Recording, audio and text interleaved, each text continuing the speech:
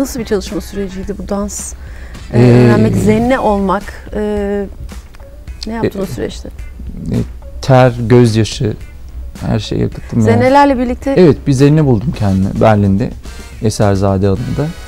Ee, eğlendik tabii ki. Yani ne öğrendin? İlk yani e, seni şaşırtan ne oldu?